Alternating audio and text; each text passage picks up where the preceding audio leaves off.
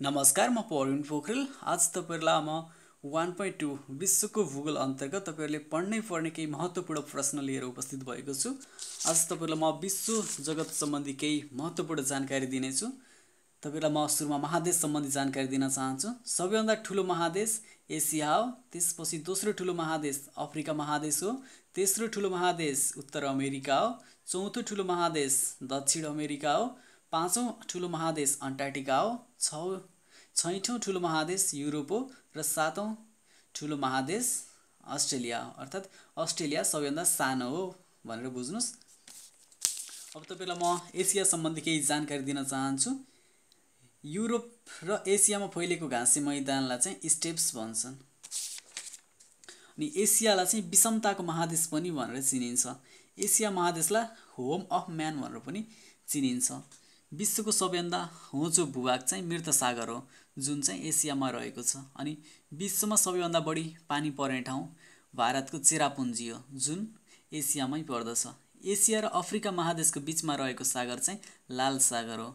अनि एसिया महादेश र उत्तर अमेरिका महादेशको बिचमा रहेको सागर कुन हो? बेरिङ सागर रहेको छ।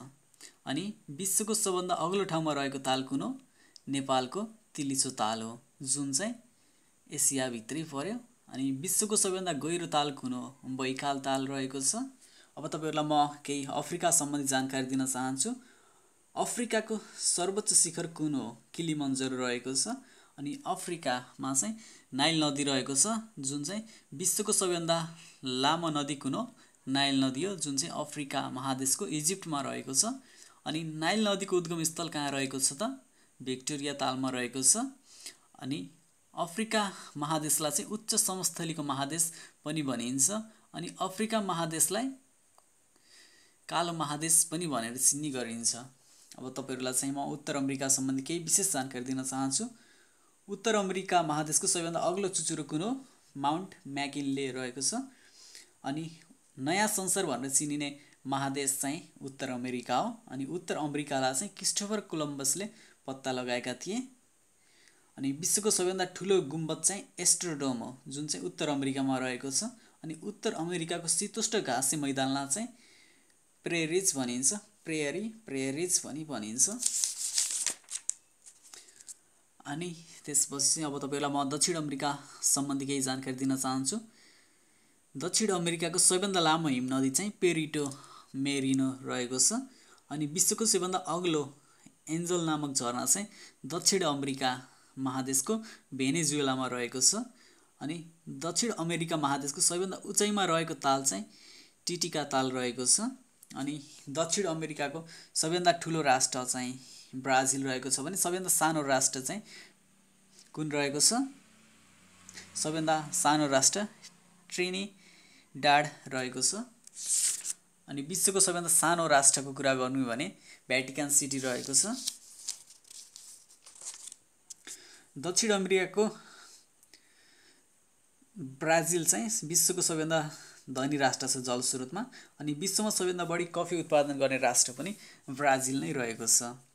अनि दक्षिण अमेरिकाको अमेरिकाको सबैभन्दा ठुलो ताल चाहिँ माराकाइवा रहेको छ। अनि तपाईँहरूलाई यो पनि जानकारी होस् कि एन्डिज पर्वतमाला पनि दक्षिण अमेरिकामै पर्ने गर्दछ। एन्डिज पर्वतमाला चाहिँ कोलम्बियादेखि चिलीसम्म फैलिएको छ। कोलम्बियाबाट सुरु भएर चिलीसम्म फैलिएको छ। अब तपाईँलाई अन्टार्टिका सम्बन्धी केही विशेष जानकारी दिउँ। अन्टार्टिका महादेशमा चाहिँ करिब नब्बे प्रतिशत चाहिँ हिउँ रहेको छ विश्वको हिउँ रहेको छ। अनि हिमको चादर भनेर पनि अन्टार्टिका महादेशलाई नै चिनिन्छ। अनि यो अन्टार्टिका महादेशमा चाहिँ विभिन्न देशहरूले कब्जा गरेका राखेका छन् अलिकति ठाउँ चाहिँ। केही अनुसन्धान अध्ययन अनुसन्धानको लागि चाहिँ कब्जा गरेर राखेका छन्। अनि विश्वको सबैभन्दा लामो हिम नदी चाहिँ ल्याम्बर्ट ग्लेसियर हो। अर्थात् अन्टार्टिकाको पनि सबैभन्दा लामो हिम नदी हो र विश्वको पनि त्यही ल्याम्बर्ट ग्लेसियर चाहिँ सबैभन्दा लामो हिम नदी रहेको छ। अब तपाईँलाई युरोप सम्बन्धी केही विशेष जानकारी दिन चाहन्छु। युरोपमा चाहिँ प्रायद्वीपको पनि प्रायद्वीप भनेर चाहिँ युरोपलाई चिनिन्छ। अनि युरोपमा चाहिँ धेरै जस्तो प्रायद्वीपहरू नै रहेका छन्। प्रायद्वीप भन्नाले चाहिँ तिनतिरबाट पानी र एकतिरबाट जमिनले घेरिएको जमिनलाई चाहिँ बुझिन्छ। अनि युरोप महादेशको सबैभन्दा सानो राष्ट्र भ्याटिकान सिटी। विश्वको सबैभन्दा सानो राष्ट्र पनि भ्याटिकान सिटी हो जुन चाहिँ युरोप महादेशमा रहेको छ। अनि युरोप महादेशको सबैभन्दा ठुलो राष्ट्र रुस रहेको छ। अनि यो रुस चाहिँ युरोपमा पनि युरोपमा रहेको छ। कुनै कुनै देशहरू रहेका छन् युरोपमा पनि रहेका छन् एसियामा पनि रहेका छन्। रसिया चाहिँ युरोप पनि भेटेको छ अलिकति अलिकति चाहिँ यता पनि भेटेको छ युरोप पनि भेटेको छ। युरोप महादेशको सबैभन्दा लामो पर्वत श्रृङ्खला चाहिँ आल्पस पर्वत श्रृङ्खला रहेको छ। अनि युरोप महादेशमा सबैभन्दा बढी ताल रहेको राष्ट्र चाहिँ रुस रहेको छ। अनि बफर जोन अफ युरोप भनेर चाहिँ बेल्जियमलाई चिनिन्छ। तपाईँहरूलाई भिडियो कस्तो लाग्छ? तपाईँहरूले कमेन्ट गर्नुहोस् लाइक गर्नुहोस्। अनि तपाईँहरूलाई कस्तो खालको भिडियो चाहिन्छ कमेन्ट गर्नुहोस्। हाम्रो च्यानल सब्सक्राइब गर्नुभएको छैन भने तुरुन्तै सब्सक्राइब गरिहाल्नुहोस् र विशेष जानकारी प्राप्त गरिराख्नुहोस्। म तपाईँलाई अब अस्ट्रेलिया सम्बन्धी जानकारी दिन चाहन्छु। अस्ट्रेलियालाई चाहिँ टापुको महादेश पनि भनिन्छ कङ्गारुको महादेश पनि भनिन्छ। अस्ट्रेलियाको सबैभन्दा ठुलो नदी भनेको मरे डार्लिङ रहेको छ। अस्ट्रेलिया महादेशको सबैभन्दा अग्लो शिखर भनेको चाहिँ माउन्ट कोसियुसको रहेको छ। अनि त्यसपछि अस्ट्रेलिया महादेशलाई चाहिँ विचित्रताको महादेश पनि भनेर चिनिन्छ। विषमताको भन्यो भने चाहिँ तपाईँले चाहिँ एसिया सम्झिनुहोस्। विचित्रताको भन्यो भने चाहिँ अस्ट्रेलिया सम्झिनु पर्ने हुन्छ। अनि अस्ट्रेलिया महादेशमा चाहिँ पातल कुवा चाहिँ धेरै रहेका छन्। पातल कुवाको महादेश पनि भनेर चिनिन्छ। अब तपाईँलाई महासागर सम्बन्धी केही विशेष जानकारी दिन चाहन्छु। सबैभन्दा ठुलो महासागर प्रशान्त महासागर। अनि दोस्रो ठुलो महासागर आन्ध्र महासागर तेस्रो ठुलो महासागर हिन्द महासागर रहेको छ अनि चौथो ठुलो महासागर कुमेरु महासागर रहेको छ अनि पाँचौँ ठुलो महासागर चाहिँ सुमेरु महासागर रहेको छ। अर्थात् सबैभन्दा सानो महासागर कुन रहेछ त? सुमेरु महासागर रहेको छ। प्रशान्त महासागर कस्तो आकारको रहेको छ? प्रशान्त महासागर त्रिभुज आकारको रहेको छ। अनि कुन कुन महासागर चाहिँ अङ्ग्रेजी अक्षर यससँग चाहिँ मिल्दो जुल्दो रहेको छ। आन्ध्र महासागर चाहिँ अङ्ग्रेजी अक्षर यससँग मिल्दोजुल्दो रहेको छ। आन्ध्र महासागरलाई अर्को कुन नामले चिनिन्छ? वाणिज्यको महासागर पनि भनेर चिनिन्छ। अनि उत्तरी ध्रुवदेखि दक्षिण ध्रुवसम्म फैलिएको महासागर पनि आन्ध्र महासागर नै हो। आन्ध्र महासागर चाहिँ विश्वको दोस्रो ठुलो महासागर भयो मैले बताइसकेको छु तपाईँलाई। अनि तेलको महासागर भनेर कुन महासागरलाई चिनिन्छ? हिन्द महासागरलाई चिनिन्छ। अनि कुमेरु महासागर कुन आकारमा रहेको छ? वृत्ताकारमा रहेको छ। अनि सबैभन्दा सानो महासागर कुन हो? सुमेरु महासागर हो। कुमेर र सुमेरु महासागरलाई के नामले पनि चिनिन्छ? के नामले चिनिन्छ भन्नुपर्दा चिसो पानीको महासागर पनि भनेर चिन्छ। कहिलेकाहीँ एउटालाई मात्र देखाएको हुनसक्छ तपाईँले जोडा मिलाउनेमा चाहिँ कुमेरु महासागर मात्र देखाएको हुनसक्छ। त्यो चाहिँ चिसो पानीको महासागर भनेर चिनिन्छ। पृथ्वीमा कुल कति घनमिल पानी रहेको छ? बाइस करोड घनमिल चाहिँ पृथ्वीमा पानी रहेको छ। यो तपाईँले जान्नुपर्ने कुरा हुन्छ। अनि आक्षांश रेखा सम्बन्धी केही जानकारी दिन चाहन्छु अब तपाईँहरूलाई। आक्षांश रेखा कतिवटा हुन्छन् भन्नुपर्दा एक सय अस्सीवटा हुने गर्दछन्। अनि एक आक्षांशको फरकमा चाहिँ एक सय एघार किलोमिटरको चाहिँ फरक पर्ने हुन्छ। अनि भूमध्य रेखा चाहिँ जिरो डिग्रीको आक्षांश रेखा हो यो कुरा चाहिँ तपाईँले जान्नुपर्ने हुन्छ। अनि देशान्तर रेखामा चाहिँ एक देशान्तर बराबर कति किलो कति मिनटको फरक हुन्छ? एक देशान्तर बराबर चार मिनटको फरक हुने गर्दछ अनि पन्ध्र देशान्तरमा एक घन्टाको फरक हुन्छ।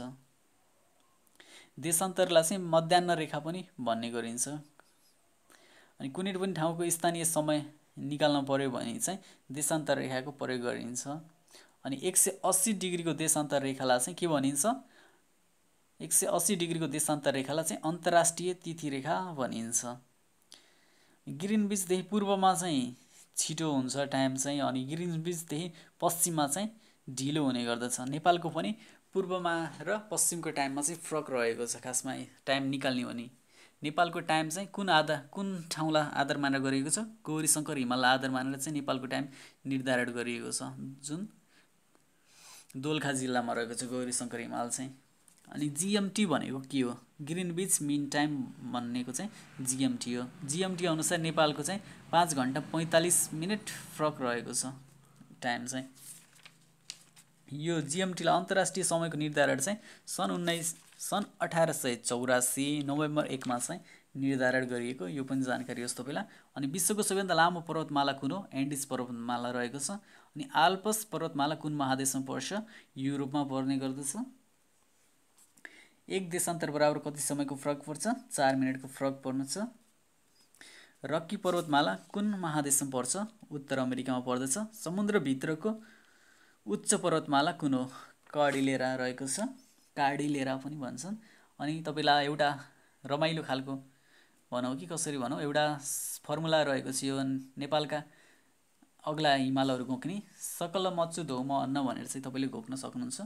स भनेको चाहिँ सगरमाथा क भनेको चाहिँ कञ्चनजङ्घा ल भनेको चाहिँ लोत्से म भनेको मकालु चो भनेको चाहिँ चोयो धौ भनेको चाहिँ धौलागिरी म भनेको मनास्नु अनि अन्न भनेको अन्नपूर्ण सकल मचो धौम अन्न रहेको छ। अनि अवश्य तपाईँहरूलाई चाहिँ मरुभूमिसम्म जानकारी दिउँ। विश्वको सबैभन्दा ठुलो मरुभूमि सहारा मरुभूमि रहेको छ। नेपालको चाहिँ मरुभूमि भनेर चाहिँ मुस्ताङलाई चिनिन्छ। मरुभूमि नभएको महादेश चाहिँ युरोप महादेश हो। यो एकदम इम्पोर्टेन्ट रहेको छ। हस् त तपाईँलाई भिडियो कस्तो लाग्यो? लाइक गर्नुहोस् कमेन्ट गर्नुहोस्। तपाईँलाई कस्तो खालको भिडियो चाहिन्छ बताउनुहोस्। अनि हाम्रो च्यानल सब्सक्राइब गरेर तपाईँ ज्ञानी भन्नुहोस् ठुलो मान्छे भन्नुहोस् म चाहिँ बिदा हुन चाहन्छु। हस्त नमस्कार।